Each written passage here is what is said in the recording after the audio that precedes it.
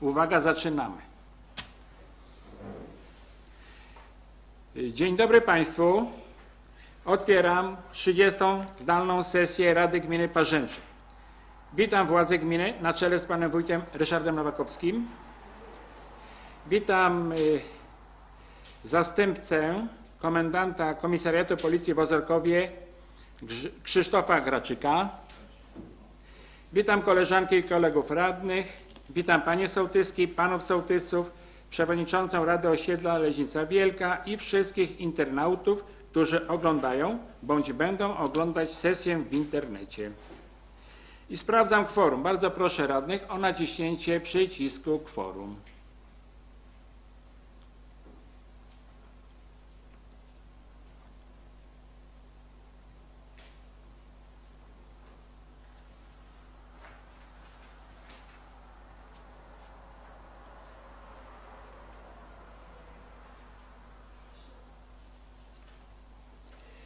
Dziękuję bardzo.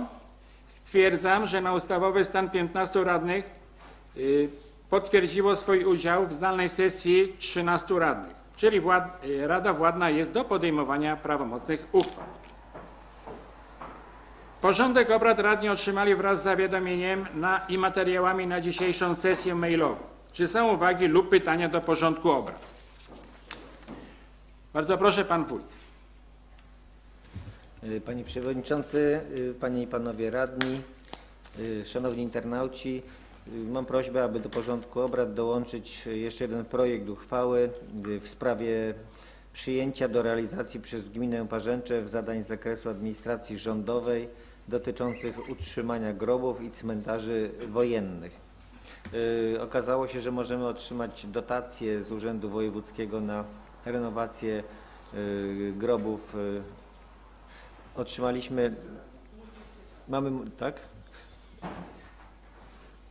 Mamy możliwość otrzymania dofinansowania z Urzędu Wojewódzkiego na wyremontowanie grobów e, osób tutaj rozstrzelanych podczas e, II wojny światowej w Kowalewicach i stąd e, potrzebny jest taki projekt uchwały.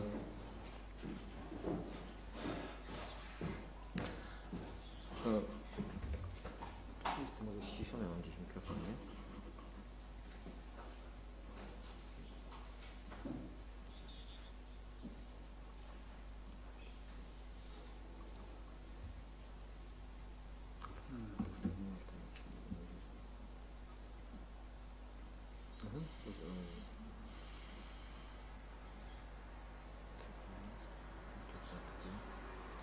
Jest, jest. nie.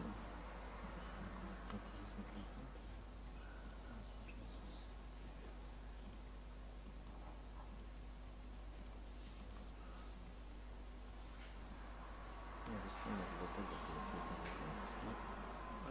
Co słychać? Nie. O, słychać. Coś było. Raz, raz, jeden, raz.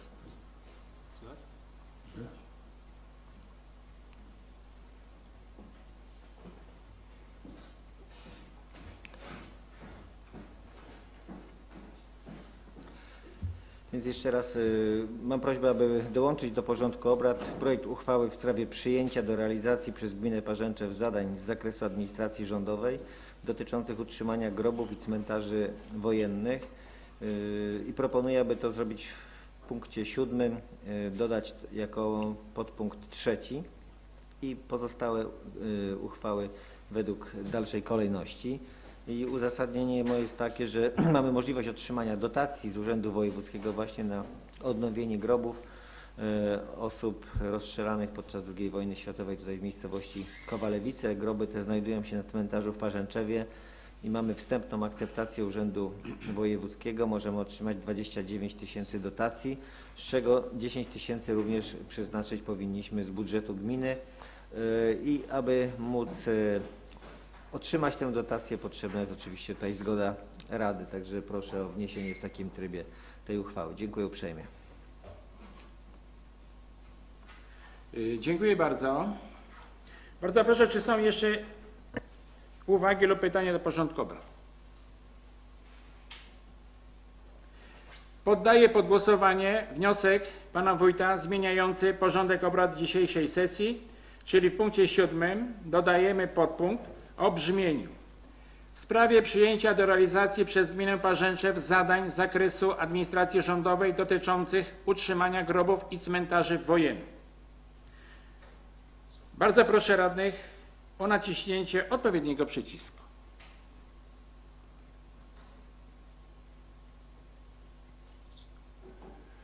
Dziękuję bardzo.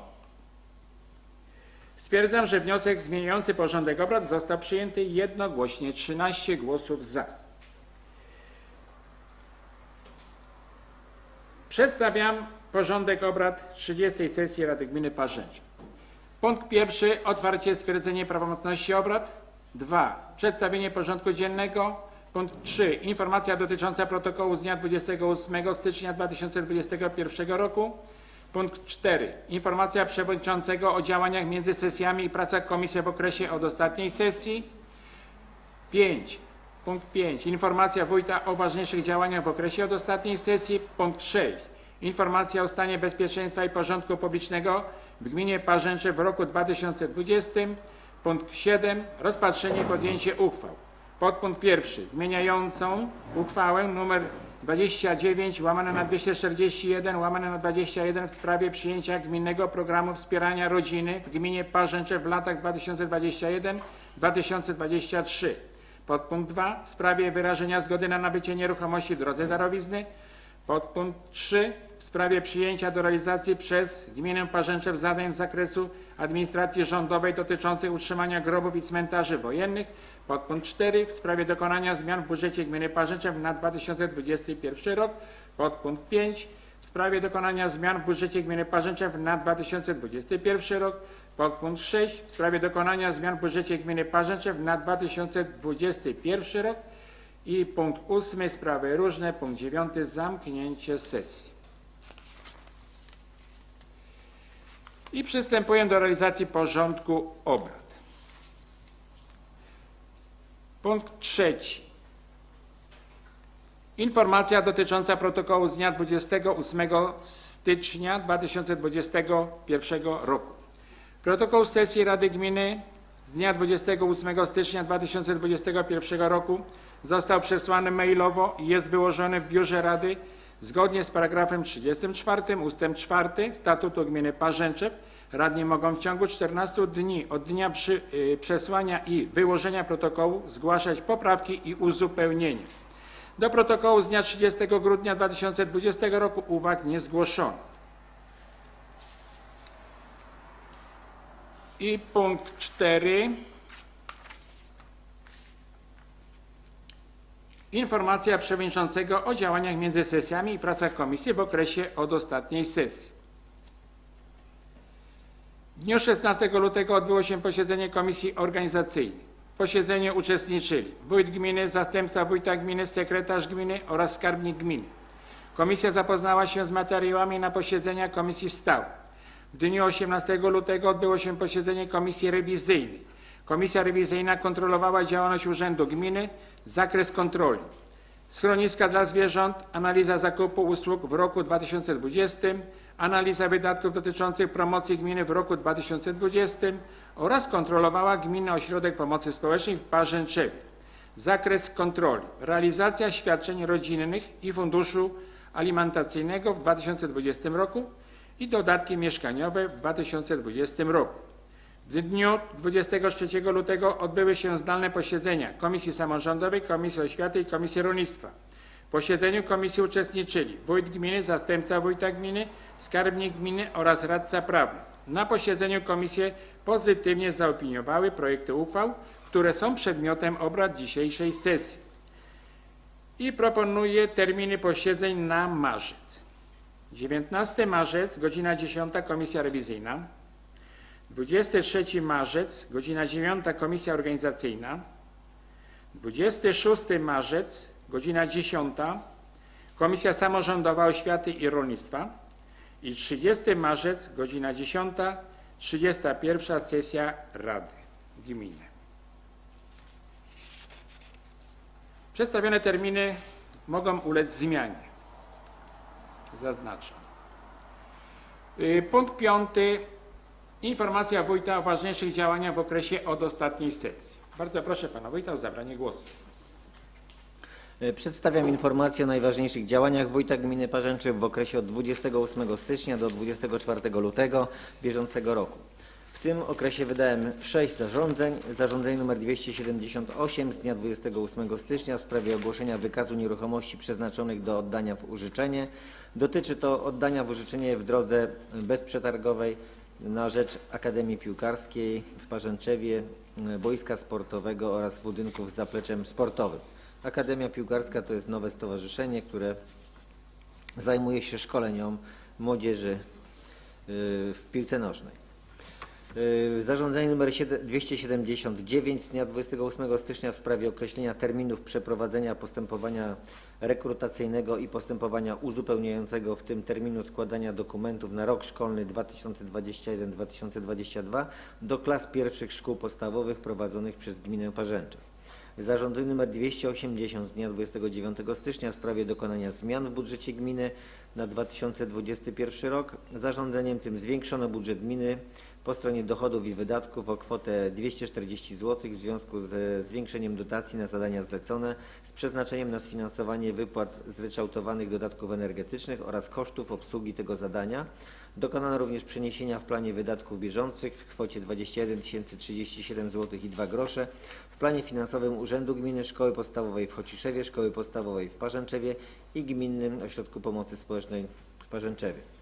Zarządzenie nr 281 z dnia 15 lutego w sprawie dokonania zmian w budżecie gminy na 2021 rok. Zarządzeniem tym zmniejszono budżet gminy Parzęczew po stronie dochodów i wydatków per saldo o kwotę 196 196 zł w związku ze zmianami dotyczącymi celowych, dotacji celowych na zadania z zakresu administracji rządowej, zmianami dotacji na realizację zadań własnych i otrzymaniem dotacji na zadania e, realizowane na podstawie porozumień z organami administracji rządowej oraz otrzymaniem dotacji na zadania zlecone z przeznaczeniem na realizację zadań na rzecz Narodowego Spisu Powszechnego 2021. Dokonano również przeniesień w planie wydatków bieżących w kwocie 11 tysięcy złotych w planie finansowym Szkoły Podstawowej w Parzęczewie. Zarządzenie 282 z dnia 15 lutego w sprawie dokonania zmian w budżecie gminy na 2021 rok. Zarządzeniem dokonano y, podziału rezerwy celowej na zarządzanie kryzysowe w kwocie 7 tysięcy złotych w związku z realnymi zagrożeniami epidemiologi- epidemiologicznymi, realizacją procedur y, dotyczących y, ograniczenia zachorowań na COVID-19 związanym z rozprzestrzenianiem się na terenie Polski koronawirusa z przeznaczeniem na zakup środków do ochrony indywidualnej i zbiorowej. Zarządzenie nr 209 283 z dnia 17 lutego w sprawie ogłoszenia wykazu nieruchomości przeznaczonych do oddania w najem dotyczy najmu lokalu użytkowego o powierzchni 12 metrów 12,45 m2 z przeznaczeniem na siedzibę spółki ZO mm, y, przy ulicy Południowej 1, czyli w budynku nazywanym potocznie Gminnym Ośrodkiem Zdrowia. Y, Umowa zostanie zawarta na okres jednego roku. W dniu 2 lutego brałem udział w spotkaniu z przedstawicielami Kancelarii Prawnej SMM Legal w Warszawie w sprawie e, Związku Międzygminnego Bzura.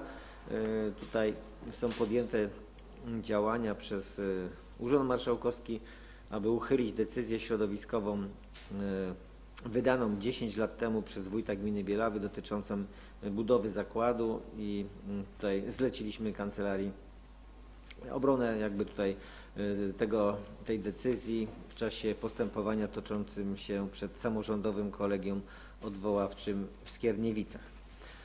W dniu 5 lutego brałem udział w nadzwyczajnej sesji Sejmiku Województwa Łódzkiego mm, prowadzonej online poświęconej gospodarce odpadami w regionie łódzkim.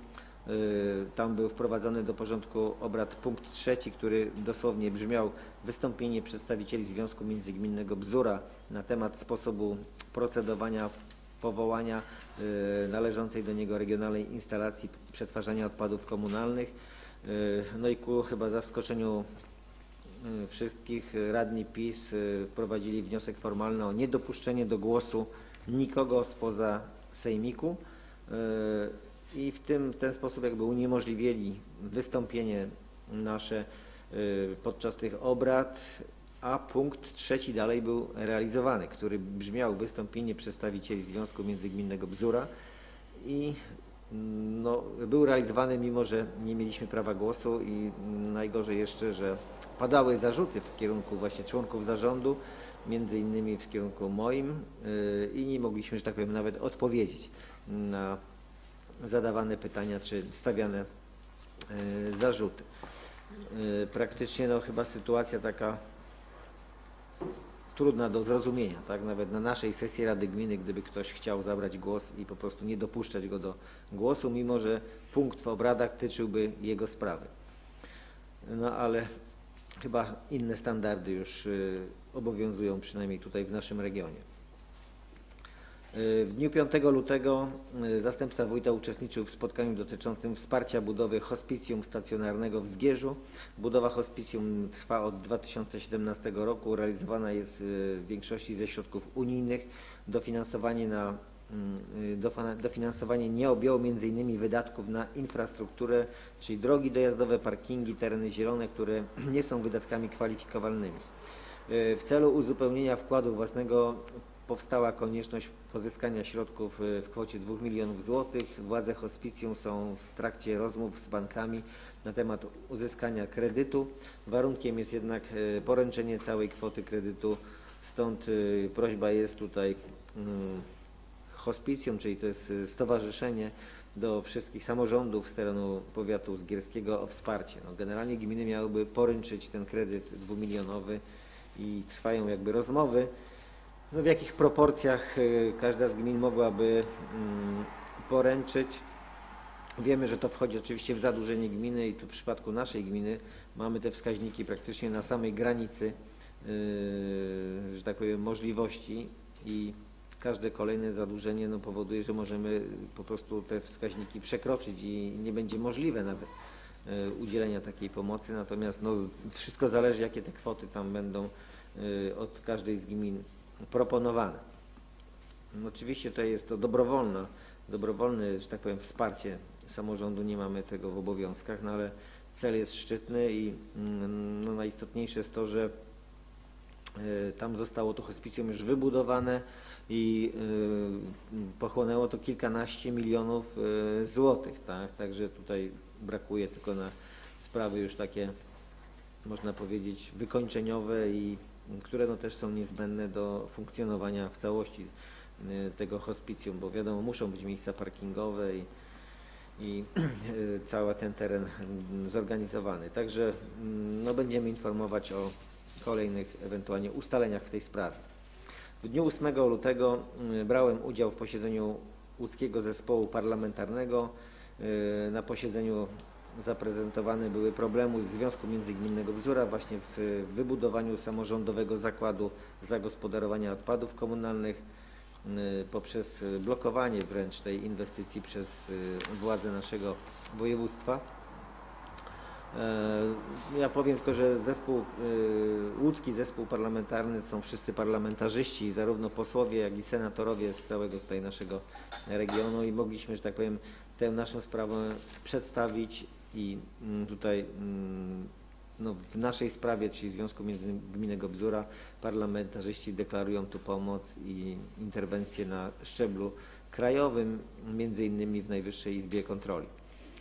W dniu e, 10 lutego otrzymaliśmy informację od wojewody o otrzymaniu właśnie przez gminę Parzęczew em, no, tej dotacji e, w wysokości 29 tysięcy złotych, którą chcemy mm, dzisiaj e, wprowadzić em, również tutaj do, do, do zadań naszych. W dniu 11 lutego brałem udział w programie telewizji Aleksandrów Łódzki w temacie też Związku Międzygminnego Bzura i problemów z wybudowaniem zakładu.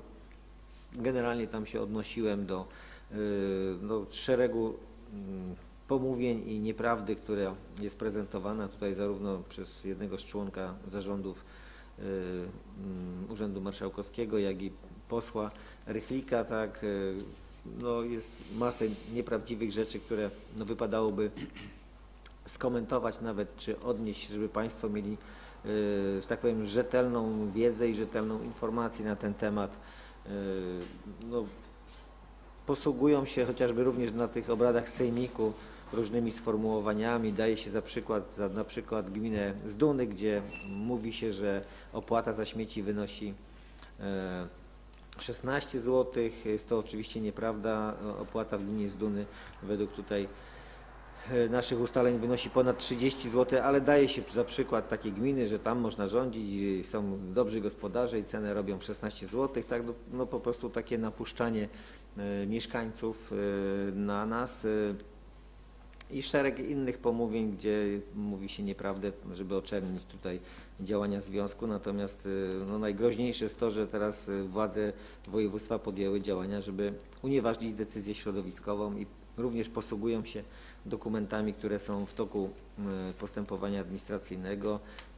Postępowanie nie jest rozstrzygnięte, dopiero będzie samorządowe kolegium rozstrzygać, a oni formułują te swoje wypowiedzi w ten sposób, że ta decyzja była wydana z rażącym naruszeniem prawa bądź niezgodnie z prawem, a na dzień dzisiejszy cały czas decyzja jest prawomocna, obowiązuje i pozwolenie na budowę cały czas obowiązuje.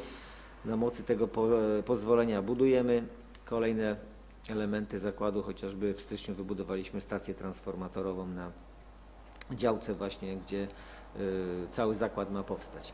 Więc y, no, jest tutaj dosyć duży spór w tym temacie i też chcemy, żeby mieszkańcy mieli rzetelną informację, bo to, co podają y, właśnie między innymi prasa tutaj Urzędu Marszałkowskiego, gazeta jest pod nazwą łódzkie.pl, tak, i, i niestety cały czas tą nieprawdę się powtarza, mówi się też o naszych zarobkach, yy, przytacza się, że zarobiłem tam 256 tysięcy przez 11 lat. Yy, No wiadomo, że takie sprawy finansowe wszystkich kolą w oczy, ale jak podzielimy te 256 tysięcy przez 11 lat, to wyjdzie, że to jest, nie wiem, 2000 miesięcznie i, oczywiście to jest brutto. Yy, No więc yy, Mm, Wynagrodzenie przewodniczącego zarządu związku międzygminnego jest uregulowane w przepisach e, chociażby ustawy o wynagrodzeniach pracowników samorządowych i tam jest podane, że wynagrodzenie przewodniczącego zarządu wynosi, są też dwa terminy, e, było chyba od 2400 do 5, ponad 5000. E, Od e, lipca 18 roku te wynagrodzenia zarówno wójtów, jak i przewodniczących związków zostały obniżone i kształtują się już na, mogę Państwu tutaj zacytować jakby konkretny zapis. Od 2100 jest wynagrodzenie zasadnicze do 4500 przewodniczącego zarządu Związku Międzygminnego.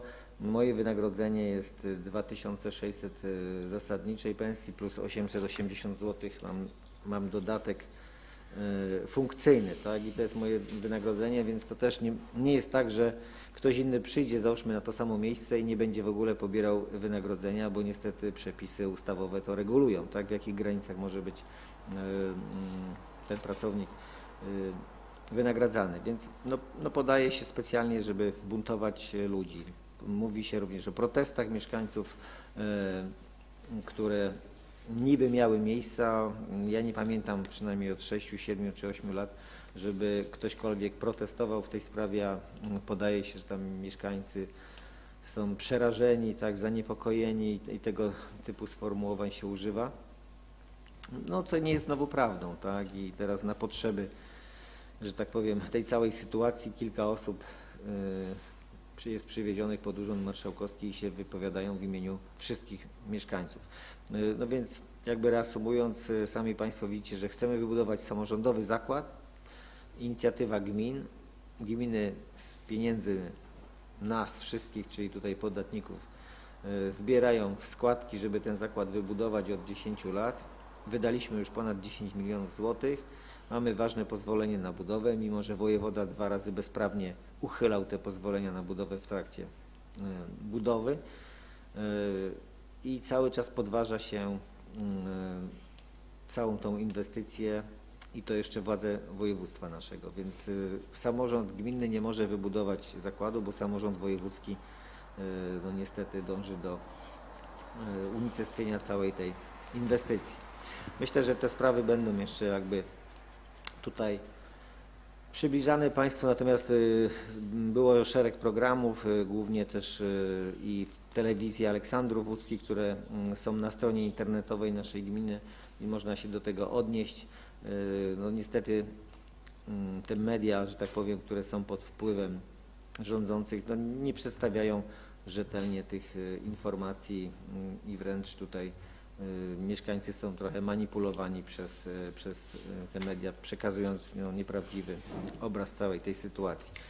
No, nie, nie, nie przytacza się faktów, że wojewoda uchylił dwa razy bezprawnie pozwolenie na budowę i to nie jest istotne, a wręcz posądza się zarząd, y, że y, no wręcz nie chcemy wybudować tego zakładu, no to jest kuriozalne, tak? Y, No ale też liczymy, że kiedyś to znajdzie szczęśliwe zakończenie i gminy będą mogły mieć swój zakład i mieć wpływ na ceny, y, które są potem pobierane w opłatach od y, mieszkańców.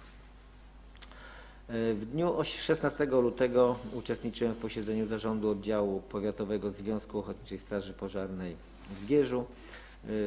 Ponadto trwają prace związane z zimowym utrzymaniem dróg gminnych na terenie gminy Parzęczew. Y, Też tutaj mm, no później może mój zastępca się odniesie do tego tematu, bo jest sporo telefonów y, w tych sprawach. Y, Zarówno były telefony przy odśnieżaniu, co wydaje mi się, że nie było aż takim wielkim problemem, bo mm, przejezdność tych dróg była utrzymana. Wiadomo, że te opady może nie trwały aż tak długo, ale były intensywne.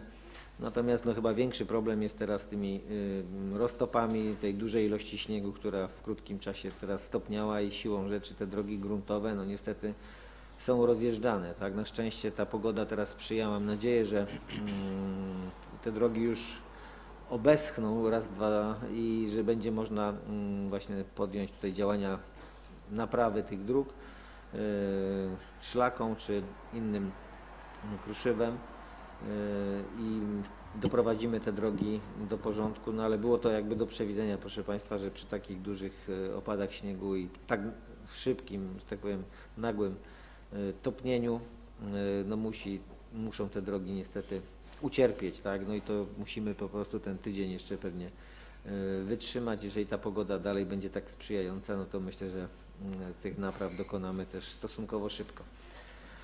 Ponadto w Gminnym Ośrodku Zdrowia w Parzęczewie mm, do dnia 24 lutego e, ośrodek nas zaszczepił 150 osób, w tym 30 osób już e, drugą dawką. Mm, Natomiast jeżeli chodzi o dowozy osób na szczepienia, to dowieźliśmy do tej pory 4 osoby.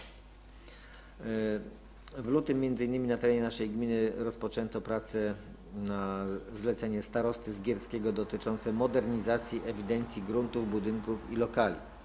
Y, Też mamy tutaj telefony głównie od sołtysów, bo na poszczególnych sołectwach to się mm, zaczyna dziać, czyli w ramach tego zlecenia mm, wykonawca przeprowadzi na terenie naszej gminy weryfikację dotyczącą budynków, obiektów trwale związanych z budy- y, obiektów trwale z, z gruntem, bo to jest z budynkami, oraz y, użytków gruntowych dla terenów zabudowanych. Y, Prosimy również wszystkich mieszkańców gminy Parzęczew o umożliwienie geodetom wstępu na posesję oraz zachęcamy do mm, sprawdzenia i ewentualnego skorygowania danych podanych w deklaracjach podatkowych złożonych w naszym urzędzie. Y, No generalnie tak jak tu przeczytałem, to też jest związane z podatkami oczywiście, bo w zależności co podatnik zadeklaruje w deklaracji, tak jest obciążany. I tutaj y, właśnie starostwo zleciło w całej gminie, tak, także to będzie szło poszczególnymi sołectwami, wiemy, że już tam Ignacewy, mm, Śniatowa, że to już jest dokonywane, również ta firma posługuje się dronami, żeby mm, jeszcze zweryfikować te dane.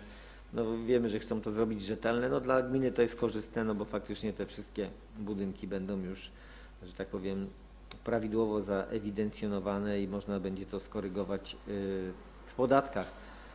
Y, Wiadomo, że jak ktoś buduje sobie różne mm, czy budynki, czy gospodarcze, no więc y, to trwa wszystko w czasie i zawsze takich zmiany, każdy może podatnik w, w dowolnym momencie, jeżeli coś dobudował, rozbudował, y, zmienić deklarację i zwiększyć. Także można też to skorygować w międzyczasie, jeżeli Państwo uznacie, że, że też już te prace na poszczególnych posesjach, jeżeli takie były, to, to można nie czekać już na, mm, że tak powiem, y, stwierdzenie przez firmę, tylko zgłosić to do, mm, tutaj u nas do Urzędu Gminy.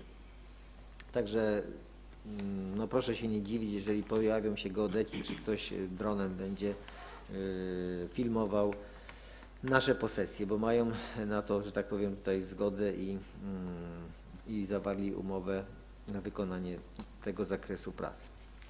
W dniu 21, przepraszam, w w 2021 roku przeprowadzony zostanie Narodowy Spis Powszechny. Polega on na zbieraniu danych statystycznych m.in. płeć, wiek, adres zamieszkania, stan cywilny, kraj urodzenia, kraj posiadanego obywatelstwa. E, Spisywanie ludności będzie odbywało się poprzez różne formy. Formą podstawową będzie mm, samospis internetowy. Zostanie uruchomiona specjalna aplikacja z początkiem kwietnia na stronie GUS. E, Będzie można spisywać e, się na, także w Urzędzie Gminy, telefonicznie oraz bezpośrednio w domu. Gdy do naszych drzwi również zapuka rachmistrz spisowy, mm, e, też poprzez rachmistrzów będzie można dokonać tego spisu. Rachmistrzowie będą mieć identyfikatory z numerem, aby można było sprawdzić jego wiarygodność e, również na stronie e, spis.gov.pl lub można zadzwonić na infolinię i sprawdzić właśnie, czy ta osoba jest faktycznie rachmistrzem. Termin spisu może zostać wydłużony z, z 30 czerwca do 30 września bieżącego roku ze względu na pandemię. Natomiast za uchylanie się od obowiązku spisowego bę- będzie również groziła kara grzywny, także powinniśmy tego spisu dokonać. Y, Ponadto mm, na tę chwilę zgłosiło się pięciu kandydatów na rachmistrzów spisowych po przeprowadzonym szkoleniu w Urzędzie Gminy i zdaniu wewnętrznego egzaminu. Y, No, z najlepszym wynikiem zostaną wybrane dwie osoby, które będą pełniły funkcję rachmistrza spisowego. Liczba rachmistrzów spisowych na terenie gminy uzależniona jest od liczby jej mieszkańców. Do czynności związanych ze spisem zostało powołane e, Gminne Biuro Spisowe. No powiem, że mm, z tego co mm, wiemy, to te stawki opłat y, za y, dokonanie jednego tego spisu są no, nie za wysokie. W porównaniu z tym, co było w ostatnich spisach, są niższe dużo, no więc y, na pewno tutaj y, to też będzie jakby zniechęcało, ale jak jest pięć kandydatów, to mam nadzieję, że y, ktoś tam się zgłosi, znaczy no, wybierzemy i że mm, w miarę sprawnie dokonamy tego spisu. Natomiast no, ważne, żeby też mieszkańcy sami dokonywali spisu przez internet. Na pewno to ułatwi w dużym stopniu realizację tego zadania. To wszystkie informacje. Dziękuję bardzo. Dziękuję bardzo. Bardzo proszę, czy są pytania do pana wójta. Proszę bardzo, radny Dariusz Niedźwiedź.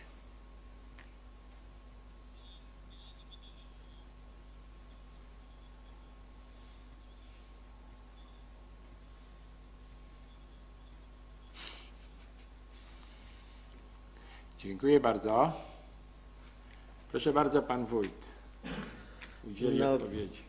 Y, Cieszymy się, że wiatraki zaczęły się kręcić już wszystkie. Y, Natomiast y, że tak powiem, na razie gmina z tego tytułu jakichś dochodów nie ma. No nie wpłynęła deklaracja tutaj podatkowa. No gmina ma, w- m, ma wpływy, przepraszam, może źle sformułowałem, bo ma wpływy z tytułu zajęcia pasa drogowego pod ewentualne kable i całą infrastrukturę, która jest w pasie drogowym naszych dróg. Natomiast y, tu pewnie panu radnemu i mieszkańcom chodzi o ten podatek od y, budowli chociażby, który miał być też no, dosyć znaczącym wpływem do budżetu gminy. E, No, przepis jest tak sformułowany, że ten podatek się należy gminie e, od momentu, jeżeli zostanie dokonana zakończona budowa, e, to od e, 1 stycznia następnego roku. Tutaj nie mamy wiedzy, kiedy ta budowa została zakończona, czy było to w grudniu, czy ewentualnie było w styczniu. Jeżeli to było w styczniu, to niestety ten podatek będzie się należał gminie, ale dopiero od stycznia przyszłego roku. I prawdopodobnie to jest taki przypadek, natomiast no, póki co mm, nie wpłynęła żadna deklaracja, możemy ewentualnie firmę zapytać, kiedy zakończono budowę, bo tak formułuje to przepis y, ustawy, tak? Od, czyli jeżeli hipotetycznie zakończyłaby się budowa w grudniu, no to ten podatek należy się już od 1 stycznia y, roku następnego, w którym mm, ta budowa została zakończona. Ale jeżeli on faktycznie no, teraz w styczniu mm, byłaby, mm, byłoby zakończenie budowy, to niestety cały rok ta firma nie płaciłaby tego podatku. Także no tyle mogę wytłumaczyć z naszej strony, bo y, że tak powiem z tamtej strony firmy na razie takiego kontaktu nie było i no, będą to szczegółowe pewnie rzeczy. Mam, domyślamy się tak, że jeżeli pewnie odbiór byłby w grudniu, to firma by tutaj deklarację podatkową w tym zakresie złożyła, a jeżeli był w styczniu, no to po prostu nie składa i, i, i tyle. Także my też w budżecie gminy przewidzieliśmy przynajmniej tam no, z 250 tysięcy z tego tytułu wpływów i jeżeli e, faktycznie tak będzie, no to będziemy niestety musieli te dochody zdjąć, no i też gdzieś obciąć e, wydatki, no to też już chyba na poprzedniej sesji e, tak informowałem, że taka sytuacja może być. No, patrzyliśmy bardziej optymistycznie, że zostały wybudowane, natomiast te odbiory, pewnie rozruchy trwały pewnie ileś i zobaczymy. Myślę, że w ciągu miesiąca powinniśmy to już nawet wyjaśnić, tak, no bo my też, jako ja, realizator budżetu, też chcę wiedzieć, czy takie wpływy będą, czy nie, jeżeli nie, to lepiej skorygować je na początku roku, e, póki jeszcze tych wydatków wszystkich żeśmy e, nie uruchomili, niż e, później pod koniec roku korygować i wtedy mm, mógłby nam się budżet nie zbilansować. Dziękuję. No niestety tak są te przepisy sformułowane. No, żeby to było od następnego miesiąca, kiedy jest odbiór y, czy zakończona budowa, a niestety jest y, od nowego roku. Dobrze, dziękuję bardzo.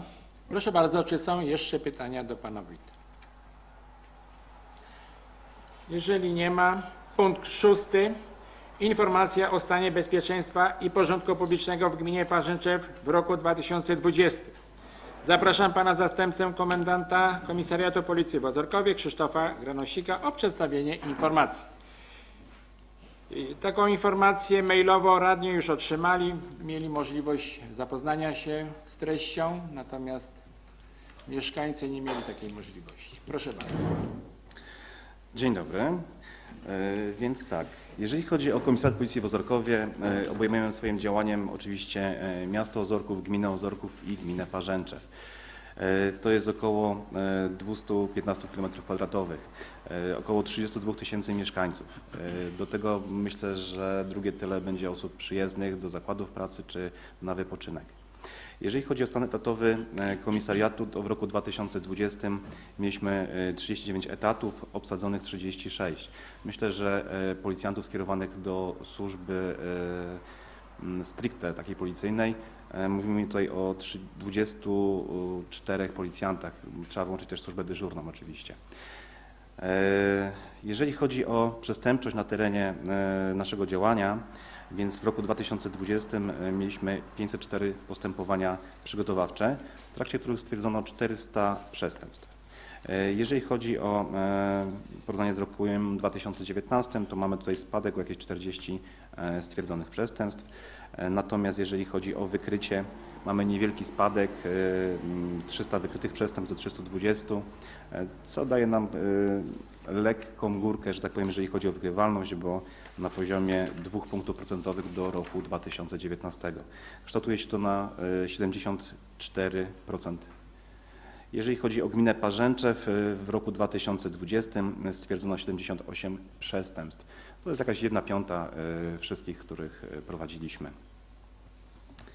Mówimy oczywiście o przestępstwach o charakterze ogólnym.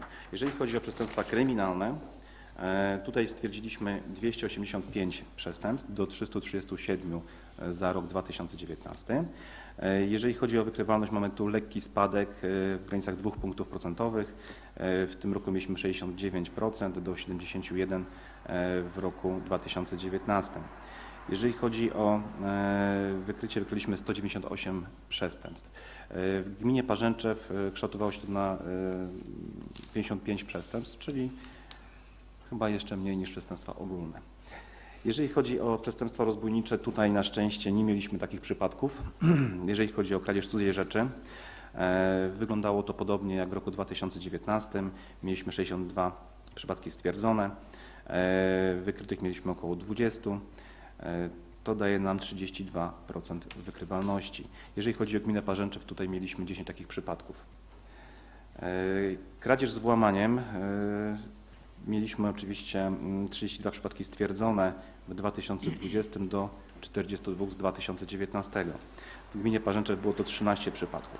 Jeżeli chodzi o wykrycie, niestety tutaj mieliśmy mm, znaczne spadki. Mieliśmy 11 przestępstw wykrytych, 33% wykrywalności do 50 tam z 2019 roku. Jednak w tych 11 przypadkach mamy e, zorganizowaną grupę przestępczą, e, która zajmowała się włamaniami na terenie nie tylko e, gminy, że tak powiem, e, Ozorków czy Parzęczew, ale też e, na sąsiednich powiatach nawet. Więc e, część z tych czynów to jest jakaś grupa zorganizowana, można powiedzieć. W gminie Parzęczew mieliśmy 13 przypadków kradzieży z włamaniem. E, Jeżeli chodzi o kradzież pojazdów, e, tutaj tendencja się utrzymuje niestety. Mamy e, 10 przypadków kradzieży. E, W 2019 było identycznie. Jeżeli chodzi o wykrycie, udało się e, wykryć jeden taki przypadek, to jest tylko 10%. E, W gminie Parzęczew były dwa takie przypadki. Tutaj mówimy o grupach e, zajmujących się kradzieżami pojazdów klasy średniej albo premium, czyli to są grupy wyspecjalizowane, e, nie są to jakieś przypadkowe osoby. Jeżeli chodzi o uszkodzenie mienia, e, w gminie Parzęczew mieliśmy tylko jeden taki przypadek. E, Ogólnie stwierdziliśmy w roku 2020 15 zniszczeń mienia, e, znaczny spadek, jeżeli chodzi o, stwierdzone takie przypadki i pomimo mniejszej liczby wykryć, to stosunek spraw wszczętych do wykrytych daje nam podobny procent wykrycia na 53%. E, Jeżeli chodzi o bójki i pobicia, tutaj na szczęście też mamy tylko dwa przypadki, dwa wykryte czyli 100% wykrycia, uszczerbek na zdrowiu, 8 przypadków, 7 wykrytych, czyli też podobnie w granicach 80 paru procent. Jeżeli chodzi o te dwie kategorie, m, bójki, pobicia i uszczerbek na zdrowiu, w gminie Parzęczew y, nie odnotowaliśmy żadnego takiego przypadku.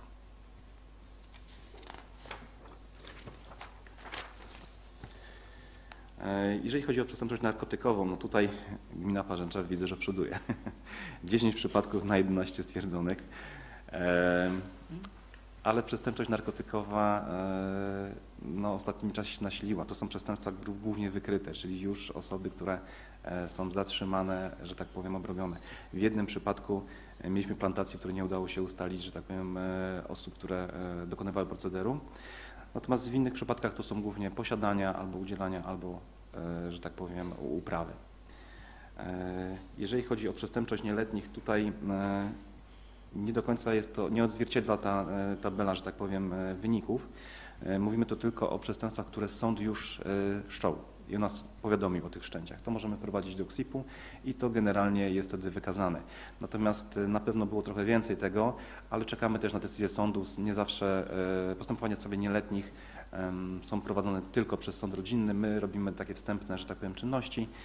Natomiast e, to są szczególne rodzaje postępowań, gdzie e, mamy na celu głównie dobro tych osób nieletnich, więc nie zawsze są te postępowania wszczynane. E, Nietrzeźwi kierujący, tutaj mamy lekką górkę mm, 63 do 50 z roku 2019. E, No można powiedzieć, że to jest 13 nowych przypadków na całe, na całe nasze terytorium, że tak powiem.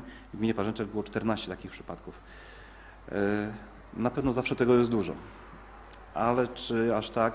No 63 przypadki, jak podzielimy na 12 miesięcy, nie daje nam jakiejś tam przerażającej e, liczby. Natomiast to zawsze jest problem, bo mimo tego, że są nietrzeźwi kierujący, to jest e, mm, tykająca bomba na drodze, bo generalnie taki kierowca może być, e, przyczynić się do wypadków również śmiertelnych, prawda? Więc staramy się to eliminować. Ta liczba też mówi o naszym działaniu w sensie, że są to osoby wyeliminowane z ruchu drogowego, które stwarzają potencjalne zagrożenie. I tu dochodzimy właśnie do wypadków drogowych i kolizji. E, Stwierdzono 89 kolizji drogowych, zdarzeń itd. Dwa wypadki, e, w tym e, w dwóch doznały dwie osoby obrażenia. Jeżeli chodzi o takie miejsca bardziej zagrożone, to mówimy to o Starym Chrząstowie. E, 15 takich przypadków. Autostrada, i tu mówimy o całej długości autostrady, że tak powiem, bez uwzględnienia miejscowości, to jest 11 takich przypadków. No i oczywiście później Parzęczew 9, 5 w Mariampolu. E, Tu tak, tak samo, należy podejść do tego różnie. Na pewno no, y, przypadki Starych Chrząstów, tutaj mówimy też o części autostrady. E, Szybki ruch, duże natężenie ruchu, to powoduje też, że kierowcy e, są może mniej czujni i tam dochodzi do większej ilości zdarzeń drogowych. Jak zauważyłem sam i e, Krajowa Mapa Zagrożeń Bezpieczeństwa sprawiła też, że patrole są e, ruchu drogowego w szczególności wysłane w te miejsca, gdzie e, ludzie dostrzegają problem, gdzie to jest e, nasilone, więc staramy się to razem z Komendą Powiatową, że tak powiem, ograniczać. Jeżeli chodzi o wykroczenia w roku 2020, to nasi funkcjonariusze ujawnili 1537 wykroczeń, z czego 592, w 590 przypadkach nałożono mandaty karne. E, 36 za spożywanie alkoholu, alkoholu w miejscu publicznym, 11 za wykroczenia przeciwko porządkowi i spokojowi publicznemu, 103 za wykroczenia przeciwko obyczajności publicznej, 60 za kradzieże mienia. E, Tu są głównie kradzieże sklepowe, gdzie sprawca jest zatrzymany na miejscu i można go rozliczyć, dlatego że mienie zostało w całości odzyskane. 174 za wykroczenia związane z ruchem drogowym, e, pozostałe mandaty za naruszenia innych przepisów. E, W 527 przypadkach przeprowadzono czynności wyjaśniające, zaś w 418 przypadkach zastosowano środek oddziaływania pozakarnego w postaci pouczenia. E, I tutaj jeszcze mm, te 174 wykroczenia drogowe to jest też związane z niewłaściwym parkowaniem. E, Część to są oczywiście jakieś tam kolizje, ale większość to są właśnie e, nieprawidłowe parkowania. Oczywiście też nieobyczajne wybryki. E, Interwencje, konwoje, zatrzymania do wytrzeźwień, zatrzymania osób poszukiwanych. W 2020 roku łącznie było 2924 takie przypadki, interwencje, z czego 2475 w miejscu publicznym, prawie 450 domowych, w tym 34 e, zakończone procedurą niebieskiej karty. Konwojowano 187 osób. E, To są doprowadzenia do sądów, prokuratur, e, do e, odbycia kary pozbawienia wolności. Zatrzymano 99 sprawców na gorącym uczynku. Wylegitymowano 3,5 tysiąca osób. Ustalono miejsce pobytu 50 osób ukrywających się. I w 2020 roku nie odnotowano zakłóceń porządku publicznego na terenie naszego działania. Znaczy, to też ma związek z obecną sytuacją e, oczywiście w kraju, brak imprez masowych e, i pewnie to się utrzyma też w roku bieżącym. Jeżeli chodzi o e, inne działania, to e, głównie byliśmy skupieni na e, działaniach związanych z pandemią e, i to są głównie kontrole e, kwarantan. E, Jeżeli chodzi o obecny stan, to mamy około 100 osób na kwarantannie. Teraz to wygląda bardzo ładnie. E, Do niedawna dosięgaliśmy taki e, pułap gdzieś 500 e, osób, zdarzało się też w ciągu doby i to jest ogromna liczba sprawdzeń. Oczywiście nie wszystko można sprawdzić, bo się nie da takiej ilości przy takim stanie etatowym, ale w większości staramy się to realizować. Jeżeli chodzi o te 13 czynności, to w wyniku tego ujawniliśmy 7 osób, które nie przestrzegały obostrzeń związanych z kwarantanną i nałożono 27 mandatów karnych za brak maseczki. Jeżeli chodzi o priorytety na rok 2021, to oczywiście szczególny nacisk kładziemy na kradzieże pojazdów, bo to jest e, bardzo ważne. Kradzieże, kradzieże z włamaniami, przestępczość narkotykowa i obroty dopalaczami, bo to cały czas jest na topie. E, Przestępczość gospodarcza nieletnich, zwalczanie handlu z alkoholem niewiadomego po- pochodzenia, e, nacisk na osoby, na osoby e, ukrywające się przed organami ścigania. E, Tu cały czas nam, że tak powiem, liczba nie ubywa, a wręcz nawet przybywa. E, Oczywiście poprawa poczucia bezpieczeństwa e, w społeczeństwie, w szczególności w okresie letnim. I tu postaramy się nasilić oczywiście patrole w miarę możliwości. E, Chodzi o takie zakłócenie porządku, niszczenie mienia, żeby ludzie poczuli się, że tak powiem, bezpieczniej. Kontynuacja oczywiście współpracy z samorządami, tutaj wygląda to wzorcowo. Dbałość o dobry wizerunek policji, tutaj od naszych policjantów będzie zależało. Staramy się to jak najlepiej, że tak powiem, organizować. E, No i oczywiście e, cały czas wykonywanie zadań związanych z pandemią, czyli zwalczaniem i przestrzeganiem obostrzeń wprowadzanych w kraju. E, To jeżeli, tyle, jeżeli chodzi o sprawozdanie. Jeżeli ktoś z Państwa ma pytania, chętnie odpowiem. I bardzo proszę, jeżeli są pytania do pana komendanta, bardzo proszę.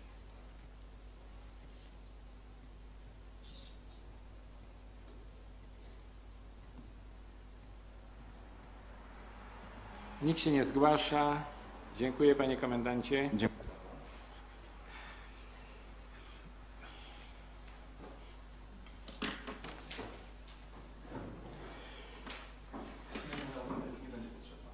Proszę.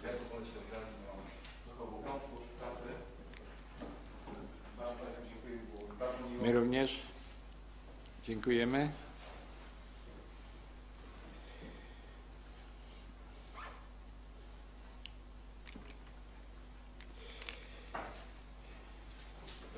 Do widzenia. Punkt siódmy. Rozpatrzenie i podjęcie uchwał. Informuję, że wszystkie projekty uchwał, oprócz jednego projektu y, zgłoszonego dzisiaj przez pana wójta, przyjętego przez Radę, zostały omówione i zaopiniowane przez Komisję Samorządową Oświaty i Rolnictwa podczas zdalnej Komisji Wspólnej w dniu 23 lutego 2021 roku.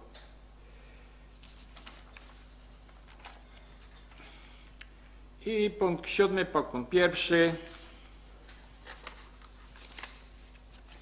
Uchwała numer 30 łamane na 246 łamane na 21 z dnia 25 lutego 2021 roku zmieniająca uchwałę numer 29 łamane na 241 łamane na 21 w sprawie przyjęcia gminnego programu wspierania rodziny w gminie Parzęczew na lata 2021-2023. Projekt opracowała Małgorzata Kowalczyk. Wnioskodawcą jest wójt gminy. Opinia prawna Małgorzata Kowalczyk. Opinie wszystkich komisje pozytywne. Projekt uchwały dotyczy zmian w uchwale przyjętej przez Radę Gminy z dnia 28 stycznia 2021 roku, a, do, a dokładnie paragrafu trzeciego, który otrzymuje brzmienie. Wykonanie uchwały powierza się wójtowi gminy Parzęczew. Otwieram dyskusję. Bardzo proszę.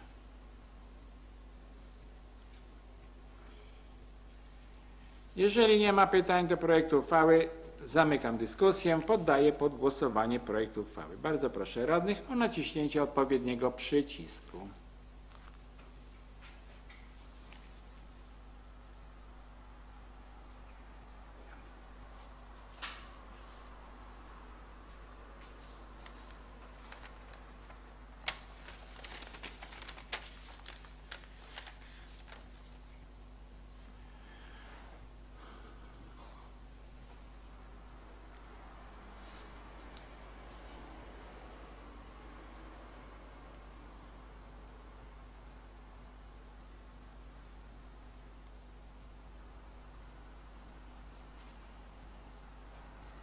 I mam jeszcze pana Marka.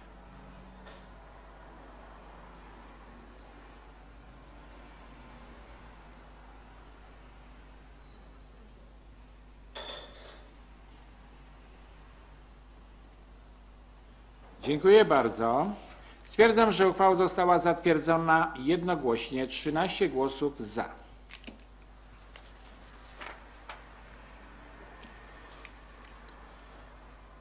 Punkt siódmy, podpunkt drugi. Uchwała nr 30 łamane na 247 łamane na 21 Rady Gminy w Parzęczewie y, z dnia 25 lutego 2021 roku w sprawie wyrażenia zgody na nabycie nieruchomości w drodze darowizny. Projekt przygotowała Monika Bukowska, wnioskodawca jest wójt gminy. Opinia prawna Małgorzata Kowalczyk. Opinie wszystkich komisji pozytywne.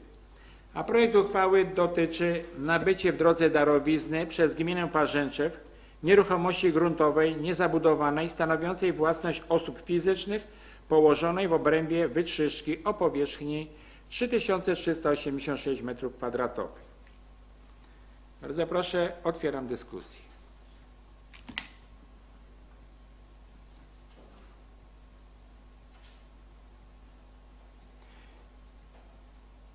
Jeżeli nie ma pytań do projektu uchwały, zamykam dyskusję. Poddaję pod głosowanie projekt uchwały. Bardzo proszę radnych o naciśnięcie odpowiedniego przycisku.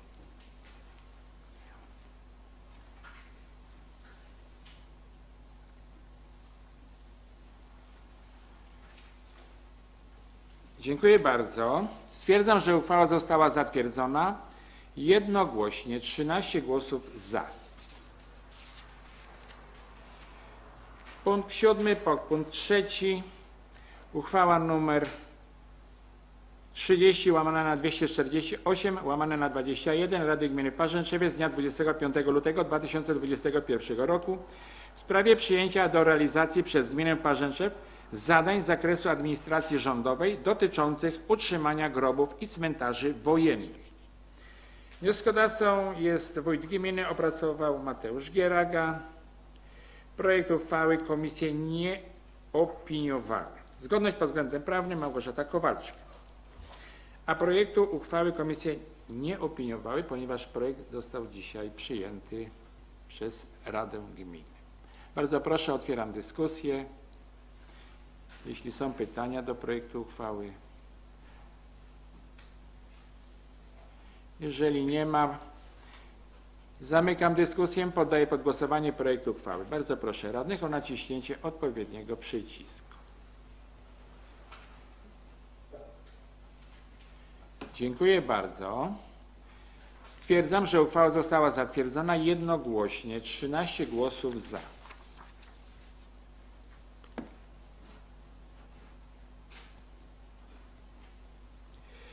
I punkt siódmy, podpunkt czwarty. Projekt uchwały numer uchwała numer 30 łamana na 249 Rady Gminy Parzęczewie z dnia 25 lutego 2021 roku w sprawie dokonania zmian w budżecie Gminy Parzęczew na 2021 rok. Projekt opracowała skarbnik gminy, wnioskodawcą jest wójt gminy, opinia prawna Małgorzata Kowalczyk, opinie wszystkich komisji pozytywne. A projekt uchwały dotyczy zmian w budżecie gminy Parzęczew na 2021 rok. Otwieram dyskusję. Bardzo proszę.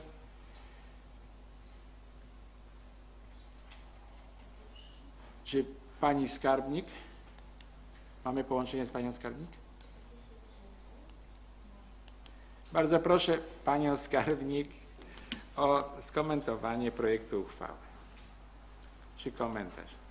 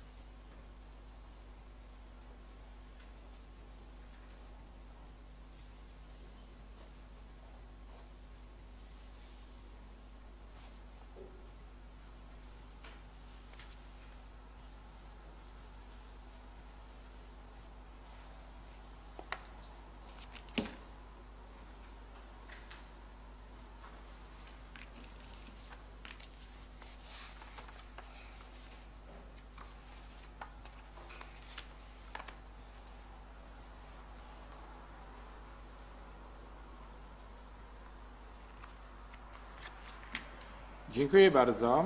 Bardzo proszę, czy są pytania do projektu uchwały? Jeżeli nie ma pytań do projektu uchwały, zamykam dyskusję. Poddaję pod głosowanie projekt uchwały. Bardzo proszę radnych o naciśnięcie odpowiedniego przycisku.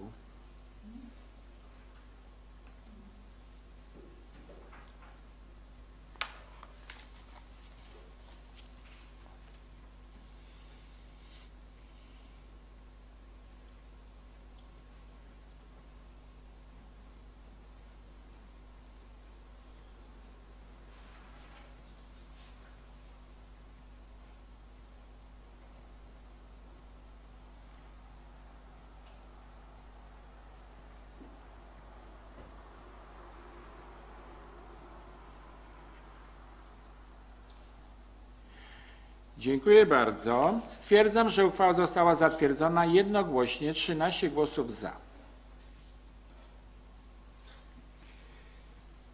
I punkt siódmy, podpunkt piąty.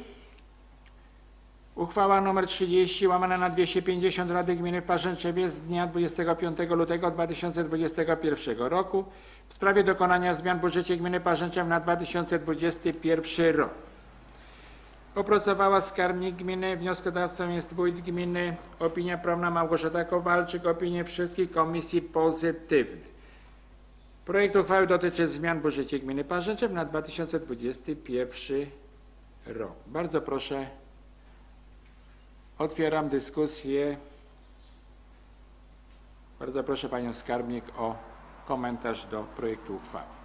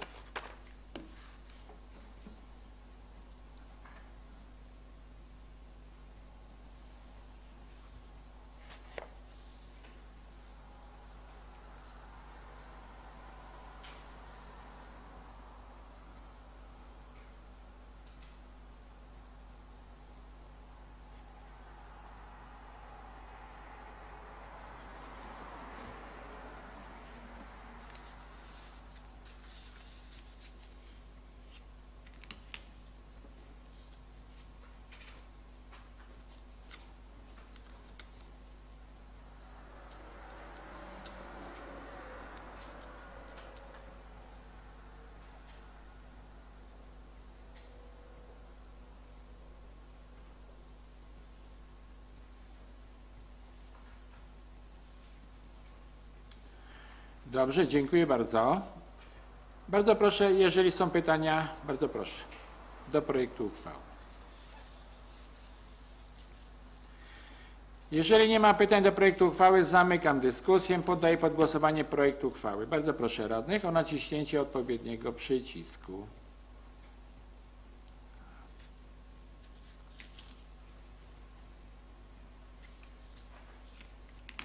Dziękuję bardzo. Stwierdzam, że uchwała została zatwierdzona jednogłośnie. 13 głosów za.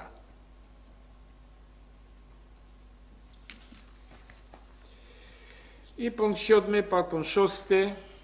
Uchwała nr 30 łamane na 251 łamane na 21 Rady Gminy Parzęczewie z dnia 25 lutego 2021 roku w sprawie dokonania zmian w budżecie gminy Parzęczew na 2021 rok. Projekt uchwały opracowała skarbnik gminy. Wnioskodawcą jest wójt gminy. Opinia prawna Małgorzata Kowalczyk. Opinie wszystkich komisji pozytywne. Projekt uchwały dotyczy zmian w budżecie gminy Parzęczew na 2021 rok. Otwieram dyskusję. Bardzo proszę panią skarbnik o komentarz do projektu uchwały.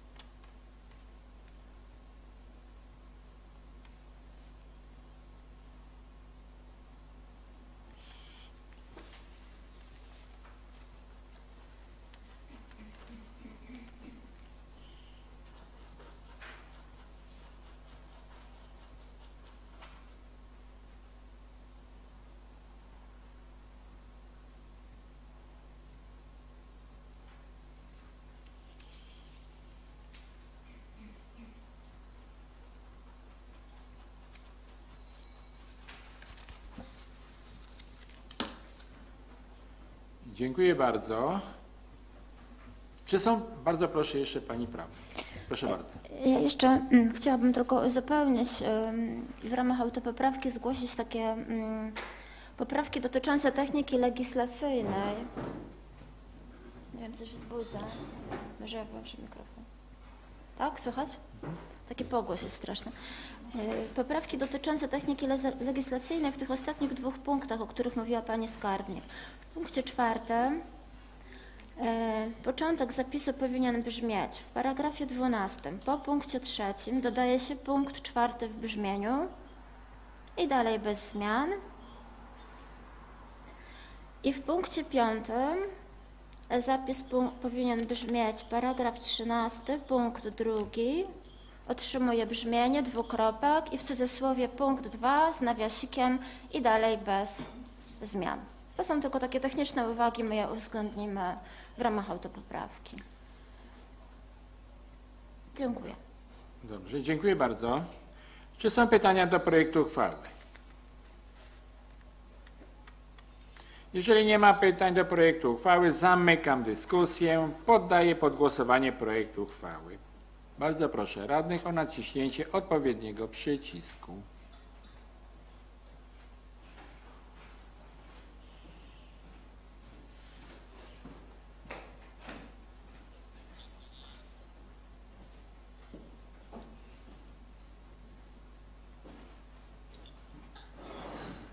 Już. Dziękuję bardzo. Stwierdzam, że uchwała została zatwierdzona jednogłośnie 13 głosów za.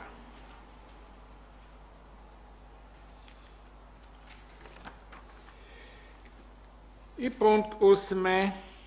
Sprawy różne. Bardzo proszę do pana wójta, tak? Wpłynęły dzisiaj pisma. Jedno zapytanie do mnie i do pana wójta. Bardzo proszę, panie wójcie, o ustosunkowanie się. E, Panie Przewodniczący, Panie i Panowie Radni, Szanowni Internauci, e, wpłynęło do nas pismo. No. Dobra, przepraszam.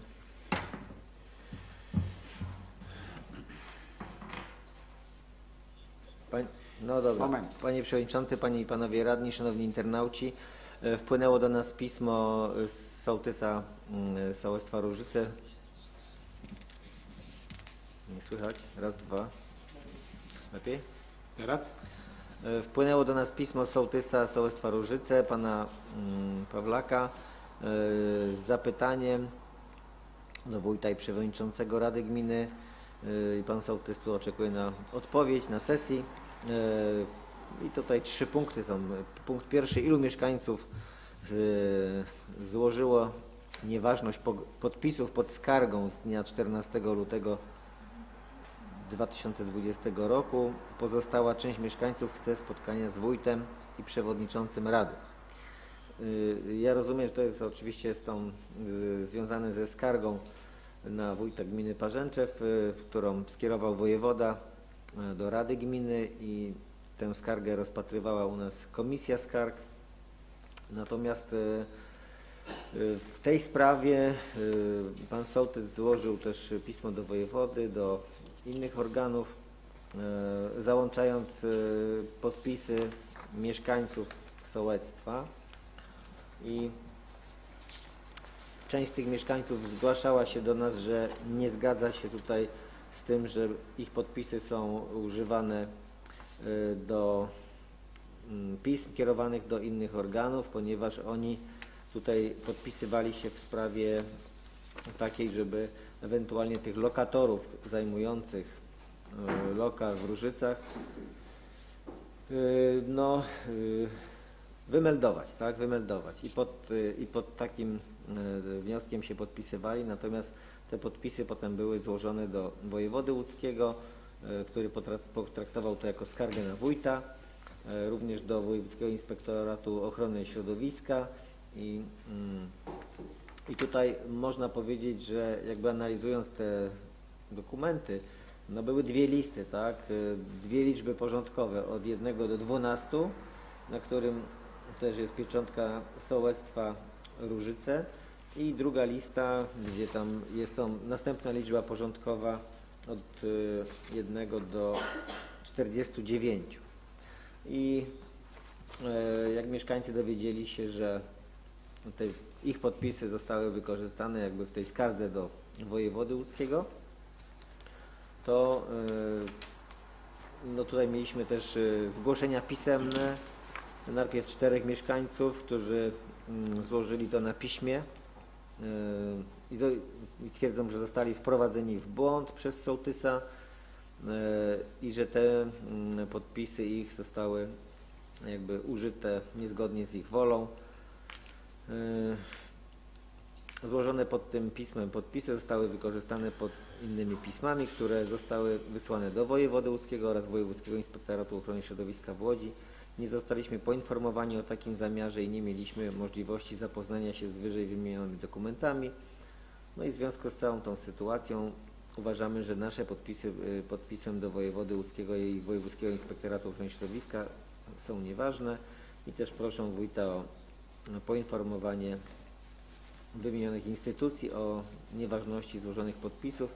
I takie pismo też ci mieszkańcy złożyli między innymi do mm, Urzędu Wojewódzkiego w Łodzi, no ale także e, byli tutaj u mnie trzej członkowie Rady Sołeckiej, e, Sołectwa Różyce. Rada Sołecka składa się z czterech członków, więc trzech było e, i odbyliśmy spotkanie i też złożyli tutaj wniosek na piśmie, że nie zgadzają się z tym, e, co zaistniało, że też nie było z nimi konsultacji, że te podpisy będą użyte do tych innych organów. No nie chcę czytać tego drugiego pisma, bo jest dosyć mm, obszerne.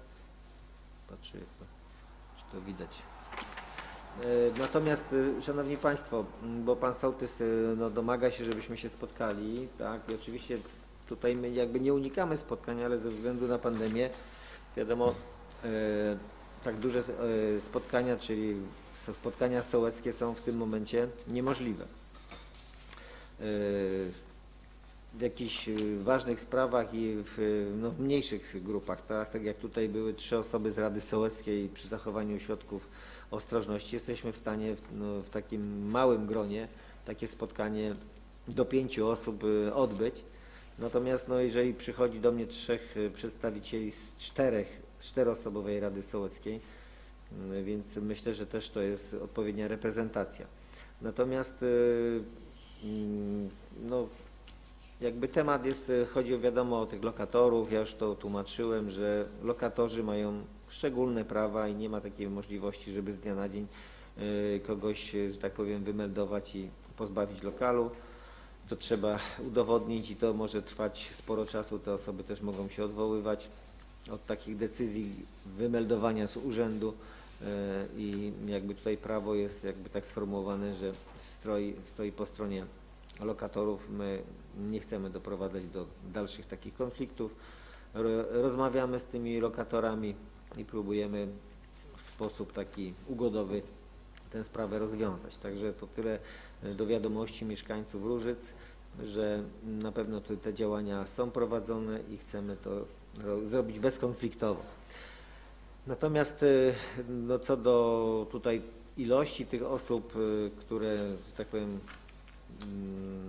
no, nie identyfikują się z działaniami sołtysa i nie zgadzają się z tym, co się stało, no to mm, tutaj to rozumiem, że Rada Sołecka jak przyszła i mówi też y, w imieniu tych e, mieszkańców, którzy byli na tej drugiej liście, tak, no bo mm, wyglądało to w ten sposób, że ta lista z dwunastoma podpisami, ona miała stronę tytułową i że to, te pisma będą kierowane do tych organów, do wójta, do wojewody, do e, Wojewódzkiego Inspektoratu Ochrony Środowiska, natomiast na tej drugiej e, liście nie było tego tytułu i ci mieszkańcy wierzyli, że podpisują się pod tym, żeby ten lokal zwolnić i y, żeby był do dyspozycji sołectwa i pod tym się podpisywali, a niekoniecznie pod skargami i tymi innymi dokumentami. Także na tej drugiej liście jest, tak jak powiedziałem, 49 osób i nie wiem ilu z tych 49 się nie zgadza.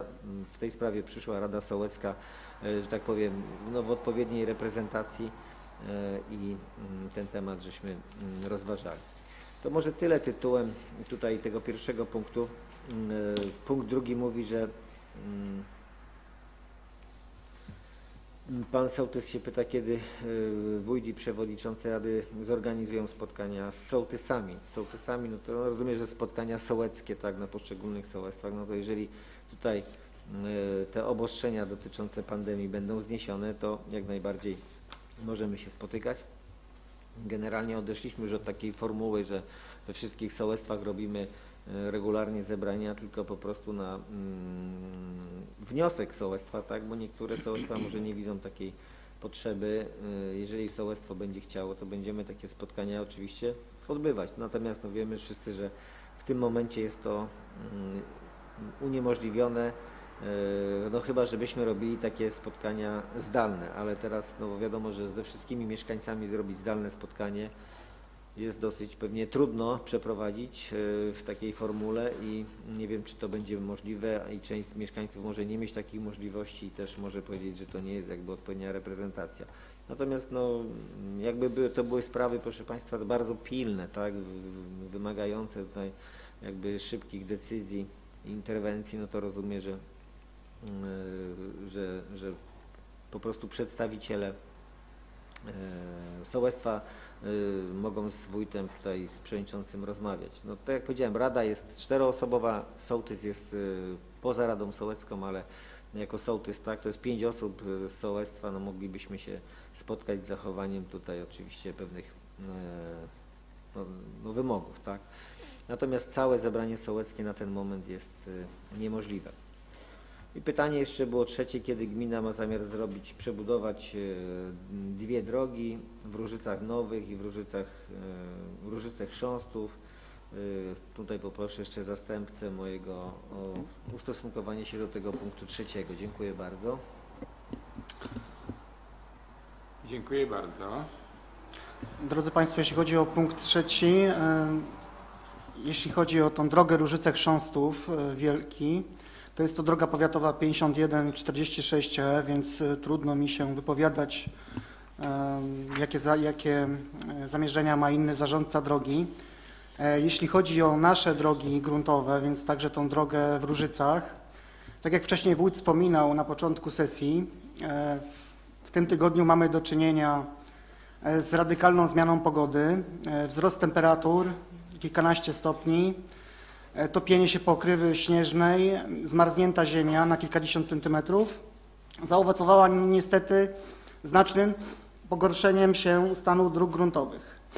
E, Ponieważ e, codziennie monitorujemy stan tych dróg gruntowych i e, choćby dzisiaj e, też taki, taki przejazd już się odbył i praktycznie Praktycznie grunt jest już e, rozmarznięty, e, ale niestety jutro zapowiadane są opady deszczu.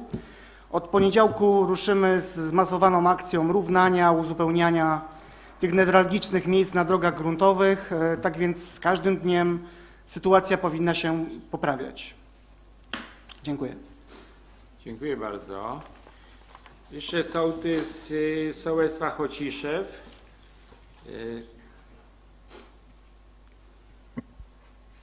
Ubolewa, że pogorszyła się jakość odśnieżania dróg gminnych. No to też. Bardzo proszę pana y, zastępcę wójta. Ponieważ, tak jak Państwo wiedzą, jestem e, również koordynatorem odśnieżania na terenie gminy Parzęczew, jeśli chodzi o, o drogi, y, gdzie właścicielem jest gmina Parzęczew. No, trudno mi się zgodzić ze stanowiskiem pana sołtysa. E, W poprzednich dwóch latach praktycznie nie mieliśmy zimy, nawet na drogach wyższej kategorii, czy na drogach powiatowych, czy wojewódzkich były to jakieś pojedyncze wyjazdy. E, W tym roku mm, mieliśmy pięć wyjazdów w tym sezonie zimowym, pięć wyjazdów, jeśli chodzi o odśnieżanie i sześciokrotne posypywanie dróg asfaltowych mieszanką piasku i soli w celu zwalczania skutków żywiołu. E, gołoledzi, e, więc tak, e, może, może przejdę do szczegółów. 7, 7 stycznia odśnieżanie rozpoczęło się o godzinie 4 rano po e, ustaniu opadów śniegu. 16 stycznia o godzinie e, 10 był wyjazd po ustaniu opadów śniegu. 17 stycznia wyjazd o 5 rano po nocnych opadach śniegu. 20 stycznia był co prawda wyjazd o godzinie 14, ale to było usuwane błoto pośniegowe. Rano było, nawierzchnia była zmarznięta. E, 8 lutego e, były te największe opady śniegu i tutaj wyjazd był o godzinie 13, ale tylko dlatego, że po prostu zaczęło padać rano, więc e, po ustaniu opadów ruszyliśmy, wszystkie, wszystkie, wszystkie nasze siły rzuciliśmy na drogi. E, Ponieważ jest trzech odśnieżających, no trudno, żeby w każde miejsce, w każde miejsce w tym samym czasie mm, dojechać. Tak więc być może, być może w sołectwie Chociszew e, rzeczywiście te kilka godzin później e, to odśnieżanie się odbywało. Ja jeszcze, ponieważ jestem w stałym kontakcie z innymi koordynatorami w sąsiednich gminach, dla porównania podam, że w gminie Ozorków miał miejsce tylko jeden wyjazd, w gminie Wartkowice trzy wyjazdy i w gminie Dalików trzy wyjazdy. E, Więc e, nie wypadamy tak źle na, na tle naszych sąsiadów. E, Jeśli chodzi o koszty w tym roku, ponieważ nie mam jeszcze wszystkich faktur, więc trudno też mi się odnosić e, do już takiej konkretnej kwoty, może powiem taki jednorazowy wyjazd, ile nas, nas kosztuje. Jeśli chodzi o posypywanie asfaltów, jest to około 3,5 tysiąca złotych za każdy wyjazd. Jeśli chodzi o odśnieżanie, koszty szacuję na od 4 do 6 tysięcy każdy wyjazd odśnieżającego. Więc tak na koniec, y, na koniec y, sumuję, że po prostu no, trudno, trudno, trudno wyważyć też y, e, te wyjazdy. Mm, My zawsze przed każdym wyjazdem analizujemy sytuację w terenie, analizujemy prognozy pogody wcześniej i dopiero wtedy wysyłamy, wysyłamy te nasze służby odśnieżające. E, Zawsze oszczędności, oszczędności z odśnieżania były bardzo duże i przeznaczaliśmy je na inne inwestycje. W tym roku, w tym, znaczy oszczędności odnośnie, odnośnie utrzymania zimowego były bardzo duże. Przeznaczyliśmy na inne, na inne inwestycje. W tym roku to będzie troszkę inaczej wyglądało, bo te środki na odśnieżanie, tak jak już Państwu przedstawiałem, e, są dużo, dużo większe wydane w tym roku. Dziękuję. Dziękuję bardzo. Jeszcze y, sołtys sołectwa Mrożewice zadaje pytanie, jakie działania związane z drogą Mrożewice-Wielka Wieś zostały zaplanowane w 2021 roku? Bardzo proszę, No też e, bardzo proszę. Postaram się odpowiedzieć. Na poprzedniej, o- stac- na poprzedniej sesji wprowadziliśmy takie zadanie, e, jak budowa drogi gminnej e, z miejscowości Wielka Wieść przez wieś Mrożewice. W ubiegłym roku wykonaliśmy mapę celów projektowych, w tym roku planujemy wykonanie dokumentacji technicznej. Dziękuję bardzo. Dziękuję bardzo. Ale pa, panie radny, bardzo proszę, bo mam tutaj już kolejkę. Bardzo proszę radnego Dariusza Niedźwiedzia.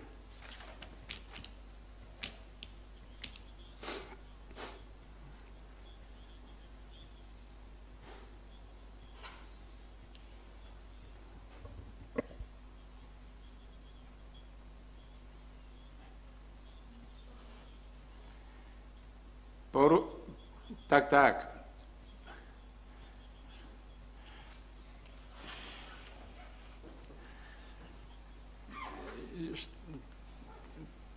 Ten temat jest cały czas drążony tutaj pan, z panem e, informatykiem. No niestety na, na ten moment, tak? Trudno jest przy tym, przy tym e, programie, tak? Na przyszłą sesję ponoć y, pan informatyk deklaruje się, że y, dokona jakichś jeszcze dodatkowych instalacji. Proszę bardzo. Bardzo proszę, pan wójt chciał, tak? My słuchamy na słuchawkach tutaj pytań, natomiast e, no, nie jest to na nagłośnieniu tutaj przez salę. No, chyba, że będziemy na razie powtarzać te pytania, które Państwo zadają i po prostu Pan Przewodniczący je powtórzy albo faktycznie odczytamy, jeżeli wpłyną na piśmie. Natomiast no, możemy na razie powtarzać, żeby faktycznie osoby e, oglądające sesję w internecie wiedziały, jak, jak e, brzmi pytanie. Bardzo proszę, radna Aneta Matuszkiewicz.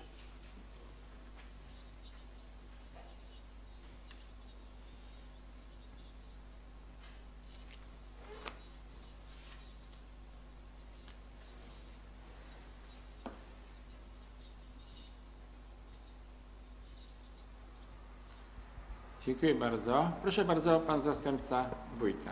Ja wczoraj miałem okazję rozmawiać z radnym e, powiatowym powiatu zgierskiego, panem Pietruszewskim. Ej, Ale, aha, powtórzę pytanie. E, Pani radna e, Aneta Matuszkiewicz pyta, czy wiadomo coś na temat e, przebudowy drogi w kierunku miejscowości Śniatowa, Skórka, Budzynek, tak? Więc e, tak jak, mówi, tak, jak, tak jak powiedziałem już, spotkałem się wczoraj z panem Sołtysem i rozmawiałem na ten temat. Do dnia dzisiejszego nie ma e, cały czas wyników konkursu, więc e, czekamy na wyniki konkursu. Złożony to było. Tak, ten konkurs był w tamtym roku, wakacje rozpisany, a wniosek prawdopodobnie złożony we wrześniu. Cały czas nie ma wyników tego konkursu. Dobrze. Dziękuję. Tak? Dziękuję bardzo. Proszę bardzo, radny Antoni Barański.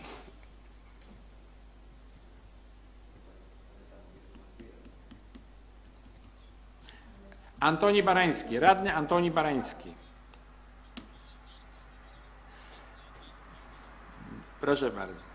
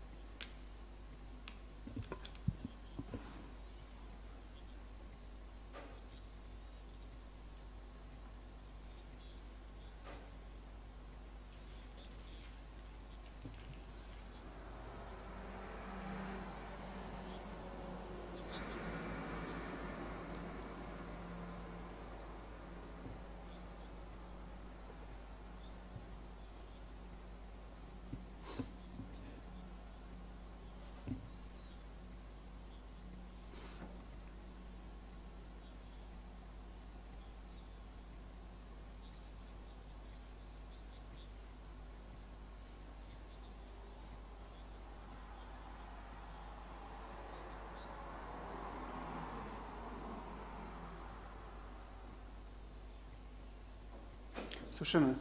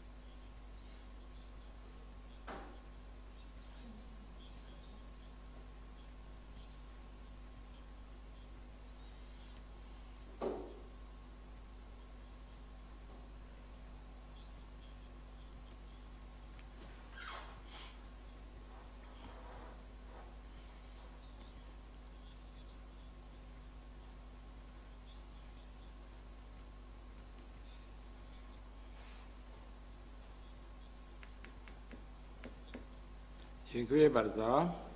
Proszę bardzo, pan wójt, tak? Okej. Dobrze. y, y, Tutaj powiem y, dla internautów, że pan radny Barański tutaj chciał, żebyśmy zabrali głos w sprawie drogi w miejscowości Sulimy, gdzie jest tragiczny stan tej drogi. Jak również, żebyśmy się tutaj jeszcze odnieśli do Związku Międzygminnego Bzura i budowy zakładu zagospodarowania odpadów komunalnych.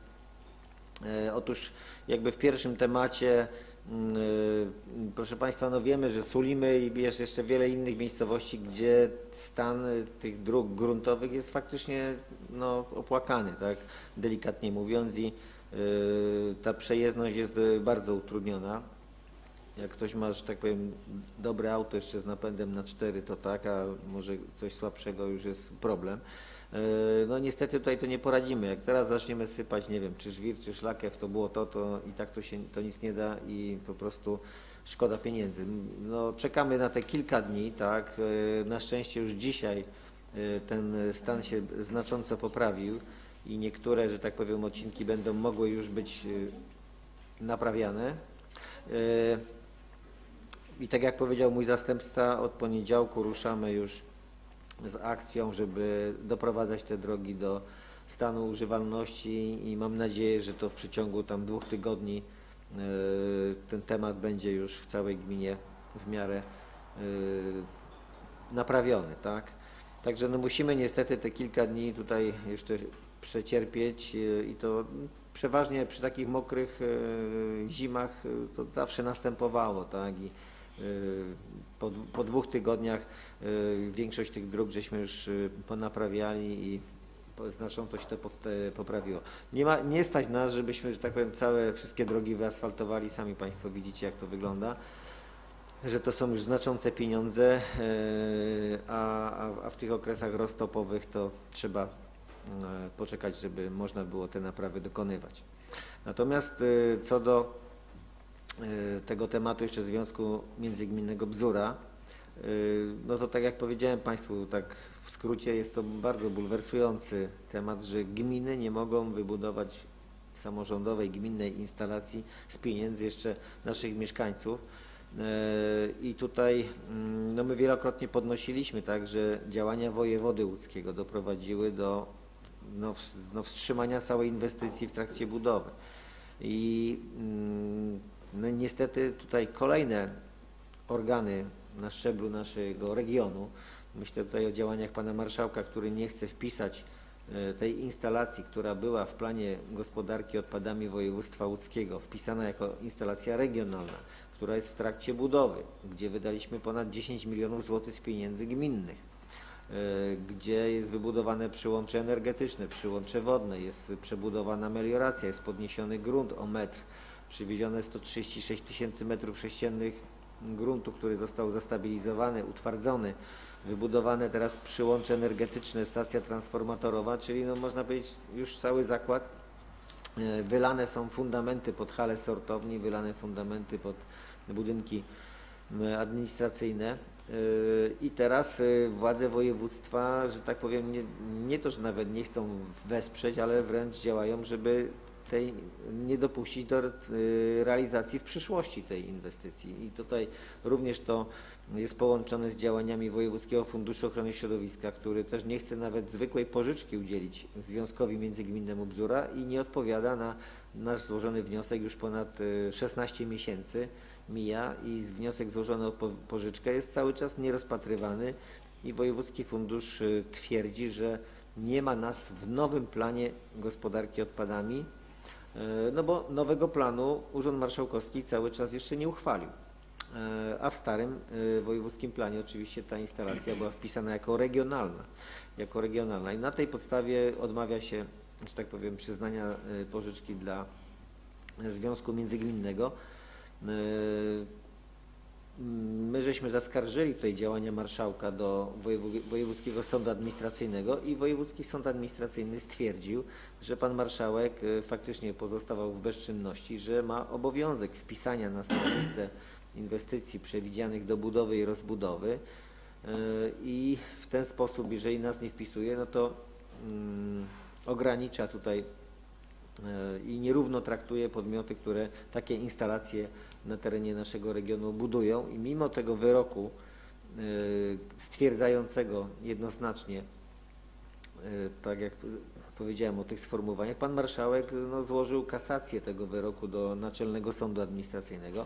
Jakby to był wielki problem wpisania nas na tę listę, tak? No, czyli jest jakiś problem, że inwestycja w trakcie budowy, inwestycja regionalna, która była w poprzednim dokumencie wojewódzkim, ma problem z wpisaniem do nowych e, dokumentów. Przepisy są tak sformułowane, że ta lista faktycznie może nie jest jeszcze taka przekreślająca sprawę, ale no, my się upatrujemy, że jak nie ma nas na tej liście, to potem nie będzie nas w załączniku inwestycyjnym do planu gospodarki odpadami województwa łódzkiego, a nie wpisanie nas do załącznika z kolei planu gospodarki odpadami wiąże się z tym, że nie będziemy mogli pozyskać żadnej dotacji ani ze środków krajowych, ani ze środków unijnych.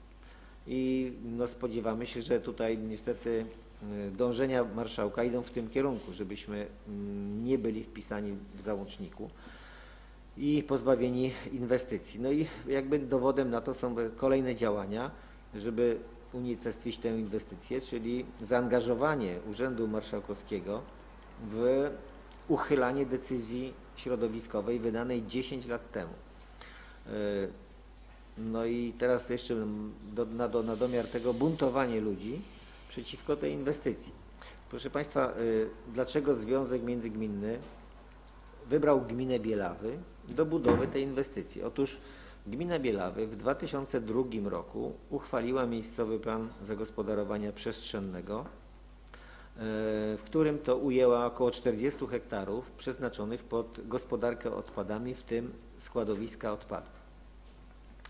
E, I ja przypomnę, że Związek Międzygminny został założony w 2009 roku, czyli 7 lat po uchwaleniu przez gminę tego miejscowego planu, czyli gmina się zgodziła, żeby na ich terenach takie inwestycje mogły być lokowane. Oczywiście plan, żeby był uchwalony, musiał zaopiniować to Regionalny Dyrektor Ochrony Środowiska i wszystkie organy uprawnione do tego, czyli y, wszyscy wypowiedzieli się w tym temacie, że taka lokalizacja na tym terenie jest możliwa. Y, I jest to prawo miejscowe, tak. y, I teraz Związek Międzygminny Bzura, jak powstał, to analizował około ośmiu różnych lokalizacji i wybraliśmy w końcu gminę Bielawy, bo właściwie no, no też między innymi dzięki temu, że miejscowy plan zagospodarowania przestrzennego dopuszczał takie inwestycje. No i w konsekwencji wykupiliśmy tereny, to też trwało odpowiedni okres czasu, musieliśmy najpierw zgromadzić pieniądze, wykupić te tereny, dokonać y, szereg badań, tak, inwentaryzacji przyrodniczych, y, odwierty geologiczne, jeszcze inne y, dokumenty, które były niezbędne, żeby taką inwestycję tam ulokować. I wystąpiliśmy o wydanie decyzji środowiskowej, którą ostatecznie wójt gminy Bielawy w porozumieniu z regionalnym dyrektorem ochrony środowiska, po uzgodnieniu z regionalnym dyrektorem, wydał decyzję mm, y, określającą warunki, na jakich taka inwestycja może być y, zrealizowana i w konsekwencji po dwóch latach następnych otrzymaliśmy pozwolenie na budowę tej inwestycji.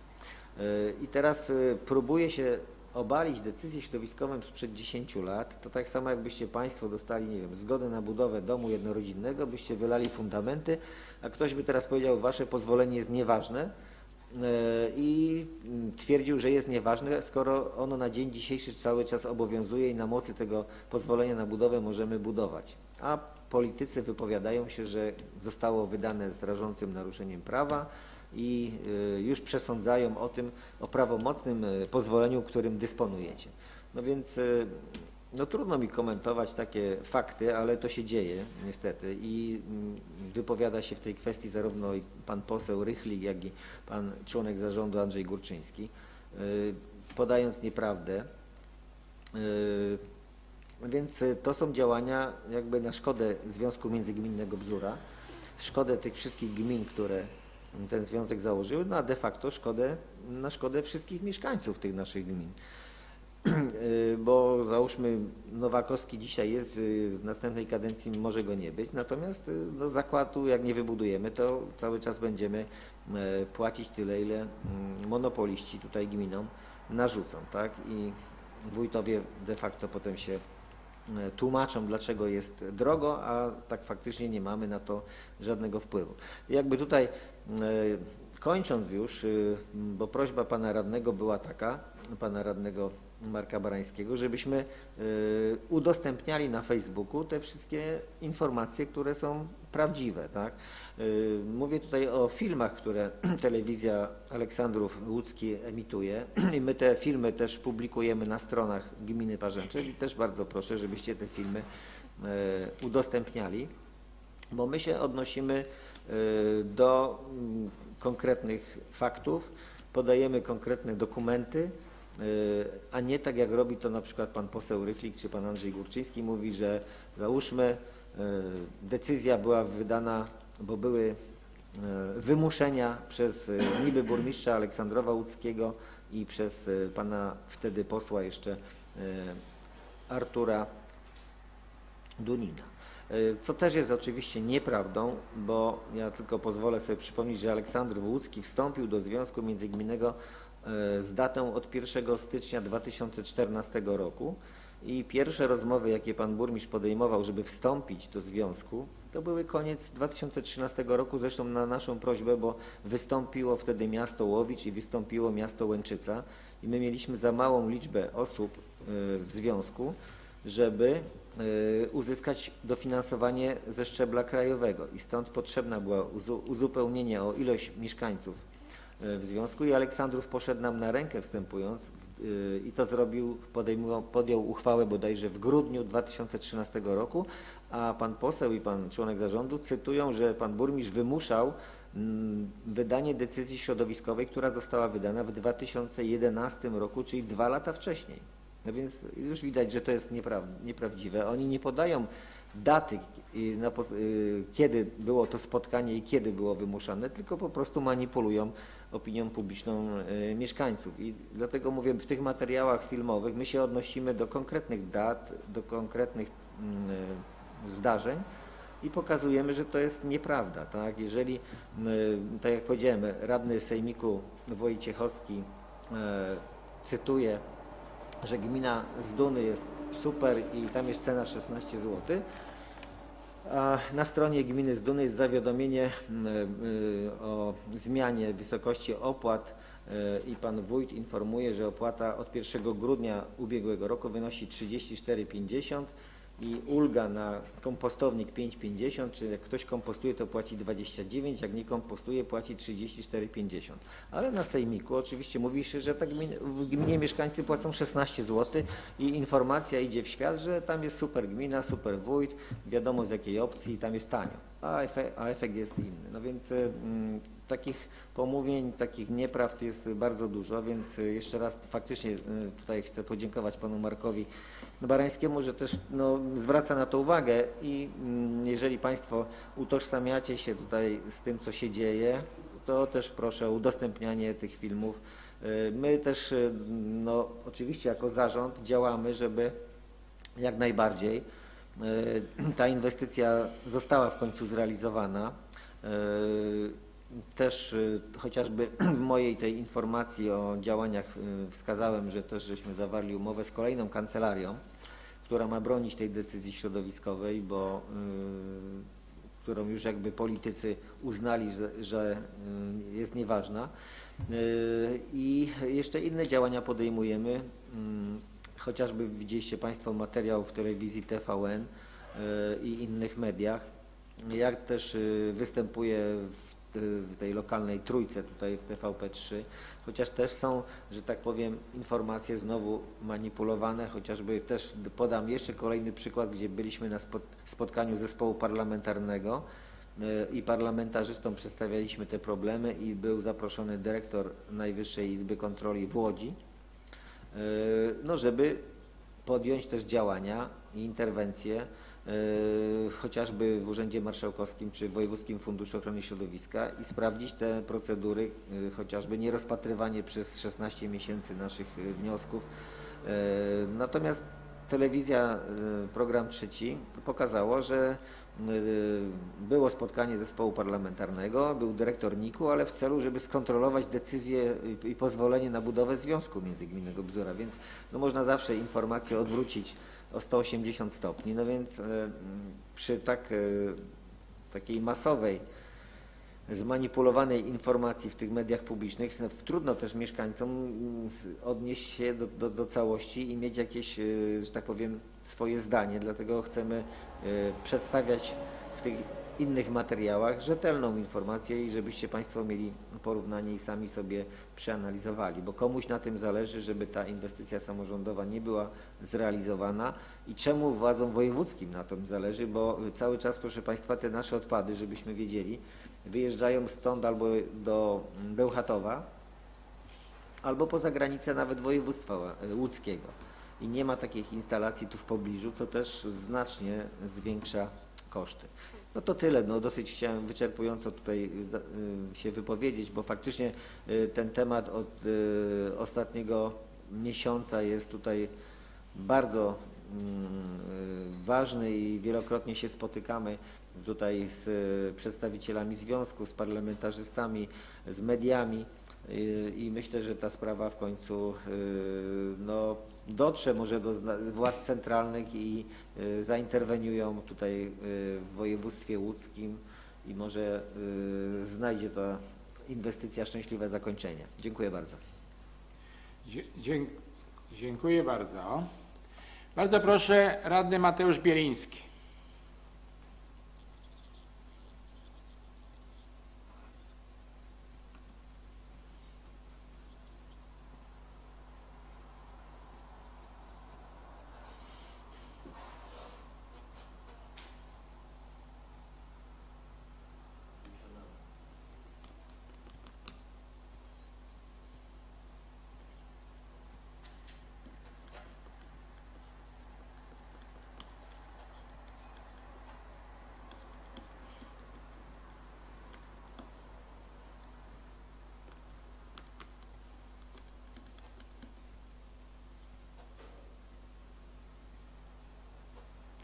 Dziękuję. E, Radny Mateusz Bieliński interweniował przed chwilą w sprawie dróg na osiedlu w Parzęczewie. Więc e, tak jak już wcześniej mówiłem, wszystkie drogi, wszystkie drogi od poniedziałku zaczniemy m, ten standard ich podnosić. Ja byłem dzisiaj również na osiedlu. Wygląda to dużo lepiej jak wczoraj. Na tych drogach, na których była e, zrobiona w poprzednich latach stabilizacja, jest już, jest już prawie sucho. Tak więc y, od poniedziałku mm, wyrównamy, wyrównamy również y, drogi na osiedlu. Dziękuję bardzo. Dziękuję bardzo. Bardzo proszę, sprawy różne. Jeszcze na zakończenie informuję, że uchwały wraz z załącznikami podjęte przez Radę na dzisiejszej sesji będą dostępne w Biuletynie Informacji Publicznej.